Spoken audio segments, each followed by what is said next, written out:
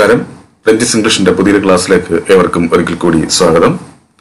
നമ്മൾ പതിവ് പോലെ ഇന്നും പ്രീവിയസ് ക്വസ്റ്റ്യൻസ് ആണ് ചർച്ച ചെയ്യുന്നത്. അപ്പോൾ ഈ ക്ലാസ് നിങ്ങൾക്ക് ഇഷ്ടപ്പെടുകയാണെന്ന് തീർച്ചയായിട്ടും നിങ്ങൾ ലൈക്ക് ചെയ്യുക ഷെയർ ചെയ്യുക. അതുപോലെ തന്നെ ആദ്യമായി എന്റെ ക്ലാസ് കാണുന്ന ആരെങ്കിലും ഉണ്ടെങ്കിൽ തുടർന്നുള്ള ക്ലാസ്സുകൾ ലഭിക്കാൻ വേണ്ടി താഴെ കാണുന്ന സബ്സ്ക്രൈബ് ബട്ടൺ ക്ലിക്ക് ചെയ്ത് തൊട്ടടുത്ത് കാണുന്ന ബെൽ ബട്ടൺ ക്ലിക്ക് ചെയ്ത് നോട്ടിഫിക്കേഷൻ എനേബിൾ ആക്കി വെക്കുക. അപ്പോൾ നമുക്ക് നമ്മുടെ ഫസ്റ്റ് ക്വസ്റ്റ്യനിലേക്ക് വരാം. നോക്കുക. I had hardly closed my eyes dash the telephone track ഇവിടെ ഓപ്ഷൻസ് കൊടുത്തിട്ടുണ്ട് വെൻ ദാൻ ആൻഡ് ബട്ട് അപ്പൊ ഇത് ഇവിടെ എന്താണ് വരിക? ഇവിടെ ഒരു ഷോർട്ട് ട്രിക്ക് ഉണ്ട്. എന്താണ് ആ ഷോർട്ട് ട്രിക്ക് നോക്കുക ഹാർഡ്ലി എന്ന് പറയുന്ന സംഭവം. ഇതാണ് ഈ ഹാർഡ്ലി എന്ന് പറയുന്ന കാര്യം.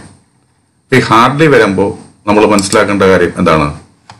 തുടർന്ന് വരേണ്ട ഭാഗം എന്തായിരിക്കണം? വെൻ ആയിരിക്കണം. ഓക്കെ ഹാർഡ്ലിയുടെ കൂടെ യോജിക്കുന്നത് എപ്പോഴും എന്തായിരിക്കും? വെൻ ആയിരിക്കും. ഇപ്പൊ ഹാർഡ്ലി വെൻ അതുപോലെ സ്കേഴ്സ്ലി വന്നാലും സ്കേഴ്സ്ലി വെൻ. ഇപ്പൊ ഹാർഡ്ലി വെൻ സ്കേഴ്സ്ലി വെൻ. ആ രീതി വെച്ച് വേണം ഇവിടെ ചെയ്യാൻ. ഇപ്പൊ ഹാർഡ്ലിയുടെ കൂടെ ജോയിന്റ് ആവുക എന്തായിരിക്കും? വെൻ ആയിരിക്കും. അതാണ് ഇവിടുത്തെ ഷോർട്ട് ട്രിക്ക് ഓക്കെ അപ്പൊ ഇവിടുത്തെ കറക്റ്റ് ആൻസർ എ എന്ന് പറയുന്ന ഓപ്ഷനാണ് ഇനി അടുത്ത ക്വസ്റ്റ്യൻ നമുക്ക് നോക്കാം. Dash is the past participle form of strike strike എന്ന് പറയുന്ന വെർബിന്റെ വി ത്രീ ഫോം എന്തെന്നാണ് ചോദിച്ചിരിക്കുന്നത്? അത് സ്ട്രൈക്കഡ് ആണോ സ്ട്രക്ക് ആണോ സ്ട്രൈക്ക് ആണോ ഇതിലേത് വരും എന്നാണ് ഇവിടെ ചോദ്യം. നമ്മൾ മനസ്സിലാക്കേണ്ട കാര്യം സ്ട്രൈക്ക് എന്ന് പറയുന്ന വെർബിന്റെ വി ത്രീ ഫോം പൊതുവെ മിക്കപ്പോഴും എന്ത് തന്നെയായിരിക്കും? സ്ട്രക്ക് തന്നെയായിരിക്കും. ഇതാണ് സ്ട്രക്ക് അത് വെച്ച് നോക്കുമ്പോൾ സ്ട്രക്കാണ് ആൻസർ ആയിട്ട് വരിക. എന്നാൽ ചിലപ്പോഴൊക്കെ നമ്മൾ എന്ത് ഉപയോഗിക്കാറുണ്ട്? സ്ട്രൈക്കിന് ഉപയോഗിക്കാറുണ്ട്. എന്തുമായി ബന്ധപ്പെട്ട് പറയുമ്പോൾ നമ്മൾ ഡിസീസ് അല്ലെങ്കിൽ ഏതെങ്കിലും ദുരന്തം ഓക്കെ അപ്പം അങ്ങനെ രോഗം ദുരിതം അത്തരത്തിലുള്ള രീതി വെച്ച് പറയുമ്പോൾ നമുക്ക് സ്ട്രൈക്കിനും ഉപയോഗിക്കാം. എന്നാൽ മോസ്റ്റ് കോമൺലി നമ്മൾ ഉപയോഗിക്കേണ്ടതായിരിക്കും സ്ട്രക്ക് ആയിരിക്കും ഓക്കെ സ്ട്രക്ക് ഇവിടെ ശരിയായിട്ടുള്ള ആൻസർ ആയി വരിക സ്ട്രക്ക് ആണ്. എന്നാൽ ചില എക്സെപ്ഷണൽ ആയിട്ട് വരുമ്പോൾ നമുക്ക് സ്ട്രൈക്കിനും ഉപയോഗിക്കാം. എന്നാൽ ഇത് പി എസ് സി ചോദിച്ച ഒരു ചോദ്യമാണ്. അന്നത്തെ ആൻസർ കീയിൽ കൊടുത്തിരുന്നത് സ്ട്രക്ക് ആയിരുന്നു. ഇനി നമുക്ക് അടുത്തത് ഇപ്സോ ഫാക്ടോ മീൻസ് ഇതെന്താണ്? ഫോറിൻ ഫ്രേസ് ആണ് ഇപ്സോ ഫാക്ടോ ഇതുകൊണ്ട് എന്താണ് ഉദ്ദേശിക്കുന്നതാണ് ചോദിച്ചിരിക്കുന്നത്. By the fact itself ആണോ? ഓൾ ദ ഫാക്ട്സ് ആണോ? ഫാക്ച്വലി ഇൻകറക്റ്റ് ആണോ? ഫാക്ച്വലി കറക്റ്റ് ആണോ? എന്താണ് ഇപ്സോ ഫാക്ടോ കൊണ്ട് ഉദ്ദേശിക്കുന്നത്? By the fact itself എന്നാണ്. എന്താണ്? By the fact itself ഇതാണ് ശരിയായിട്ടുള്ള ആൻസർ അടുത്ത് നോക്കാം. He dash president was elected ആണോ എലക്ടഡ് ആണോ ഹാഡ് എലക്ടഡ് ആണോ ഹാസ് എലക്ടഡ് ആണോ. ഇവിടെ നമുക്ക് ചെറിയതായിട്ട് നമ്മൾ ലോജിക് ഒന്ന് നമ്മുടെ ലോജിക് ഒന്ന് ഉപയോഗിച്ചാൽ മതി. നമ്മൾ എങ്ങനെയാണ് പ്രസിഡന്റിനെ നമ്മൾ എന്താണ് ചെയ്യുക? തെരഞ്ഞെടുക്കുകയാണ് ചെയ്യുന്നത്. ആരും സ്വയം പ്രസിഡന്റ് ആവത്തില്ലല്ലോ അല്ലേ? പൊതുവെ എങ്ങനെയാണ് സ്വന്തമായിട്ട് ആരും പ്രസിഡന്റ് ആവും ഇല്ല. അയാളെ തെരഞ്ഞെടുക്കുകയാണ് വേണ്ടത്. അപ്പൊ അങ്ങനെ ആകുമ്പോൾ ഇവിടെ ഈ ഹി എന്ന് പറയുന്നത് ആയിരിക്കും? സബ്ജക്റ്റ് ആയിരിക്കുമോ ഒബ്ജക്റ്റ് ആയിരിക്കുമോ? ഈ ഒബ്ജക്റ്റ് ആയിരിക്കും. കാരണം ഇവന് അല്ലെങ്കിൽ ഒരുവന് സ്വന്തമായിട്ട് ചെയ്യാൻ പറ്റത്തില്ല. അപ്പോൾ സ്വാഭാവികമായിട്ടും ഇദ്ദേഹം എന്തല്ല സബ്ജക്റ്റ് അല്ല. സബ്ജക്റ്റ് ആണല്ലോ പ്രവൃത്തി ചെയ്യേണ്ടത്. അപ്പോൾ ഇദ്ദേഹം സബ്ജക്റ്റ് അല്ല. പിന്നെന്താണ്? ഇദ്ദേഹം ഒബ്ജക്റ്റ് ആണ്. അപ്പോൾ ഈ സെന്റൻസ് ഒബ്ജക്റ്റിലാണ് തുടങ്ങിയിരിക്കുന്നത്. അങ്ങനെ ഒബ്ജക്റ്റിൽ ഒരു സെന്റൻസ് തുടങ്ങുകയാണെങ്കിൽ ആ സെന്റൻസ് എന്തായിരിക്കും പാസീവ് വോയിസ് ആയിരിക്കും. എന്തായിരിക്കും? പാസീവ് വോയിസ് അപ്പോൾ ഈ സെന്റൻസ് പാസീവ് വോയിസ് ആണ് നമ്മൾ ചിന്തിക്കുക. ഇനി പാസീവ് വോയിസിന്റെ വെർബ് ഫോം ഇവിടെ ഇവിടെ വെർബ് ഫോം ആണല്ലോ ഇവിടെ ഒരു വെർബാണ് വരേണ്ടത്. ആ വെർബ് ഇവിടെ ഏതൊക്കെ ആയിരിക്കും എന്നാണ് ചോദിച്ചിരിക്കുന്നത് ഒരു പാസീവ് വോയിസിന്റെ വെർബ് ഫോം പൊതുവെ എങ്ങനെ ആയിരിക്കും? Be forms plus V three എന്നായിരിക്കും. എന്തായിരിക്കും be forms plus V three ഈ രീതിയിൽ വന്നിരിക്കുന്ന വെർബ് കൺസ്ട്രക്ഷൻ ഇവിടെ ഉണ്ടോ? എന്ന് നോക്കുക. നോക്കുമ്പോൾ വാസ് എലക്റ്റഡ് വാസ് എന്ന് പറയുന്നത് ബിയുടെ രൂപമാണ്. ഓക്കെ ഇപ്പൊ ബി ഫോം വന്നു. പിന്നെ എലക്റ്റഡ് വി ത്രീ ആണ്.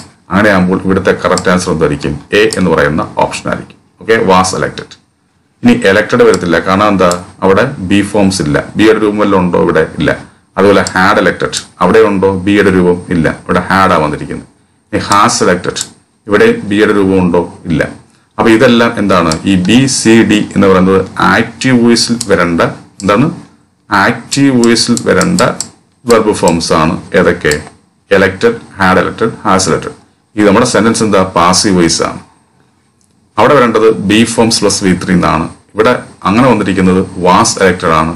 ആണ് ബി ഫോം ആണ് വാസ്. പിന്നെ V three form elected was elected അപ്പൊ അങ്ങനെ നമ്മൾ നമ്മുടെ കറക്റ്റ് ആൻസർ ആയിട്ട് വരിക എന്തായിരിക്കും?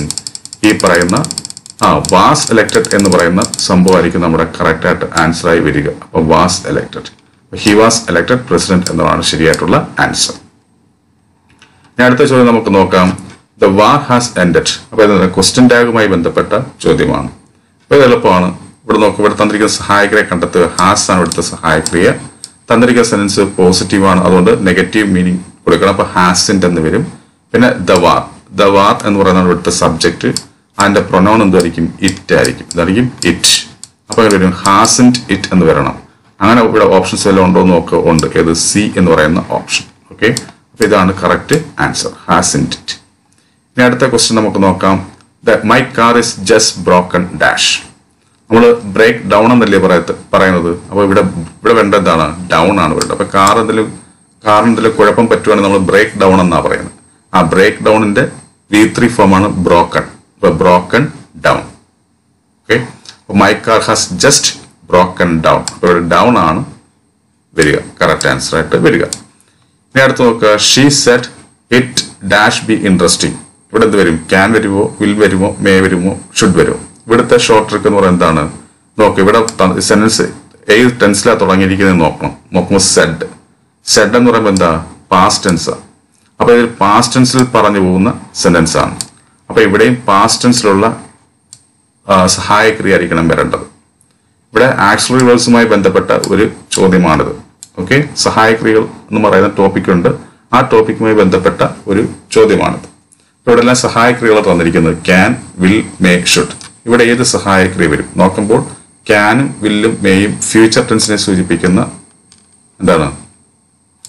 സഹായക്രിയകളാണ് എന്നാൽ ഇവിടെ നമുക്ക് എന്താ വേണ്ടത്? പാസ്റ്റ് ടെൻസിനെ സൂചിപ്പിക്കുന്ന സഹായക്രിയകളാണ് വരേണ്ടത്. കാരണം സെഡ് വന്നതുകൊണ്ട്. അപ്പൊ ഇതിൽ പാസ്റ്റ് ടെൻസിൽ വന്നിരിക്കുന്നതാണ് ഷുഡ് ആണ്. അതാണ് ഷുഡ് പാസ്റ്റ് ടെൻസിലെ സഹായക്രിയ ഷുഡ് അതായത് ഷാളിന്റെ പാസ്റ്റ് ടെൻസ് ആണ് ഷുഡ് അപ്പൊ അങ്ങനെ she said it should be interesting എന്ന് വരണം. ഓക്കെ അങ്ങനെ ആകുമ്പോൾ ഇവിടുത്തെ കറക്റ്റ് ആൻസർ എന്ന് പറയുന്നത് എന്താണ് ഷുഡ് ആണ് ശരിയായിട്ടുള്ള ആൻസറായി വരിക. നേരത്തെ നോക്കുക you should insure your house dash there is a fire അപ്പൊ എന്താണ് ഇവിടെ വരിക?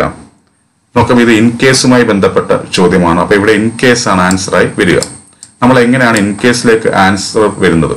അതിനൊരു ഷോർട്ട് ട്രിക്ക് ഉണ്ട്. നമ്മൾ നോക്കുക ഇതുപോലെ രണ്ട് ഭാഗം തന്നിട്ട് അതിന്റെ ഇടയ്ക്ക് ഡാഷ് വരുമ്പോൾ അല്ല ആദ്യത്തെ ഭാഗം പ്രസന്റ് ടെൻസിലോ ഇതാണ് ആദ്യത്തെ ഭാഗം പ്രസന്റ് ടെൻസിലോ അല്ലെങ്കിൽ നമുക്ക് തന്നിരിക്കുന്ന സെന്റൻസ് ആ സെന്റൻസിന്റെ സഹായക്രിയ മോഡൽ ആക്സറി ആയിട്ട് വരികയോ മോഡൽ ആക്സറി നമ്മൾ എന്തൊക്കെ വരാം?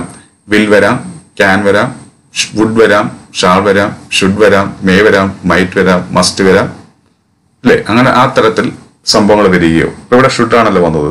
അങ്ങനെ വരികയോ അല്ലെങ്കിൽ ഈ ആദ്യത്തെ ഭാഗം ഇംപ്രേറ്റീവ് സെന്റൻസിൽ വരികയോ. അപ്പൊ എങ്ങനെയൊക്കെയാണ് ഞാൻ പറഞ്ഞത്?